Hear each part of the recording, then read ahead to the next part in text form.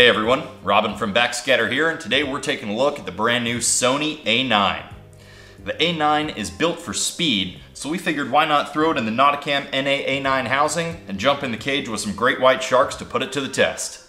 Great white sharks were a perfect test subject for the A9 because of their speed, their relative unpredictability, and the fact that they blend in so well to their background, making it very difficult for a camera to acquire autofocus. For this, we needed a camera with fast and accurate autofocus and a deep enough image buffer so that we could increase our chances of nailing the shot. Fortunately for us, this is what the A9 was made for. It's a direct competitor to Nikon's D5 and the Canon 1DX Mark II, both of which are their respective flagships when it comes to high-speed shooting. For this expedition, we exclusively shot with the Sony 16-35 f4 lens, and we let the camera pick up its own autofocus points from the 693 autofocus points it has when in wide mode. This means that 93% of the sensor is covered, and these autofocus points refresh at 60 times per second, making this a true apex predator of autofocus. The A9 had no problems focus tracking even during intense high-speed action moments when letting the camera determine its own autofocus point.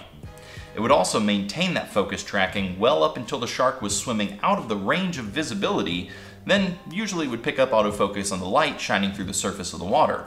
But as soon as that shark would swim back into visible range, the A9's focus tracking would pick it right back up, the really cool thing here is that the autofocus system on the A9 tracks focus while rapid fire shooting without any screen or viewfinder blackout.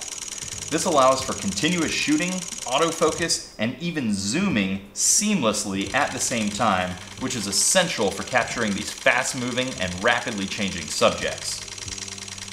Basically, all you need to do is mash that autofocus on button and shoot away. It might not be the most glorious style of shooting, but it is effective.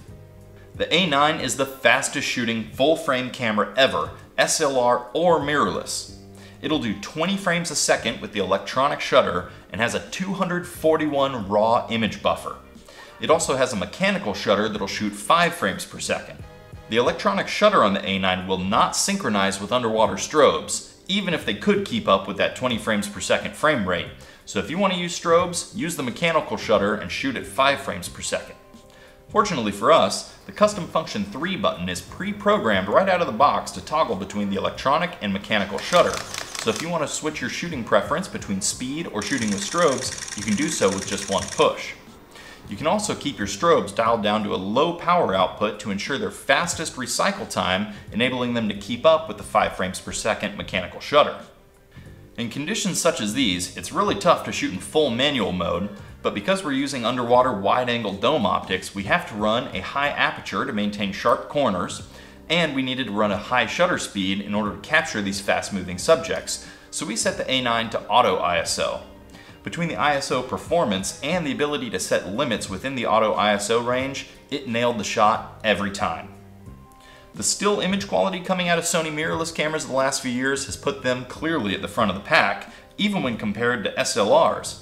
The higher resolution Sony a7R II and Nikon D810 will edge out the A9 in terms of ultimate image quality, but neither of those cameras come anywhere close to the shooting speed of the A9. That being said, there's really not a whole lot else in the camera world that's supported underwater right now that will. So, who is this camera for? Well, the A9 doesn't come with an inexpensive price tag. At 4500 bucks, it's the most expensive full-frame mirrorless on the market. It is designed to run head-to-head -head with the Nikon D5 and the Canon 1DX2, which are $6,500 and $6,000 respectively, so Sony definitely shakes up the competition by beating these cameras in terms of speed and image quality. There are features on these other cameras that the A9 does not have, such as 4K 60p video and the best ambient light white balance performance, but the A9 comes in at a lower price point, especially for the excellent still image quality and shooting performance that you get. So if you like to shoot fast-moving pelagic life like sharks, dolphins, whales, mantas, and sailfish, this is the camera for you. The speed of focus, the focus tracking, and speed of shooting plus 241 shot raw buffer is second to none. You'll be able to get the shot with your focus nailed better than with any other camera out there today.